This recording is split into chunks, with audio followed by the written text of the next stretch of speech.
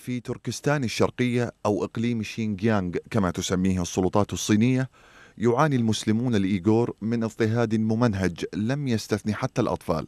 ممارسات عنصرية وصادمة للحكومة الصينية ضد الأقلية المسلمة في البلاد كشف عنها تقرير لهيئة الإذاعة البريطانية.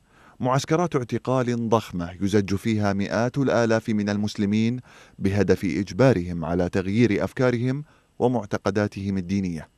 ويرصد تقرير البي بي سي حملة كبيرة لبناء المدارس الداخلية في الإقليم تجري على قدم وساق من أجل استيعاب أكبر عدد من الأطفال فيها بهدف عزلهم عن عائلاتهم والبيئة الدينية واللغوية الخاصة بهم فضلا عن المدارس ومعسكرات الاحتجاز القائمة بالفعل والتي رصد التقرير وجود أعداد كبيرة من الأطفال فيها.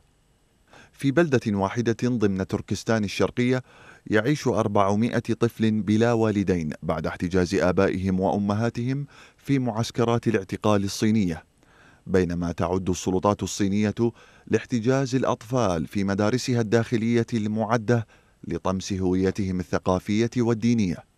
السلطات الصينية من جهتها تقول إنه يجري تأهيل الإيغور في مراكز تأهيل مهني من أجل مساعدتهم على مواجهة التطرف الديني لكن الأدلة تظهر أن الكثيرين يحتجزون لمجرد تعبيرهم عن إيمانهم الديني مثل الصلاة أو أن ترتدي النساء الحجاب أو بسبب وجود صلات لهم مع تركيا التي يتشاركون مع سكانها الانتماء العرقي.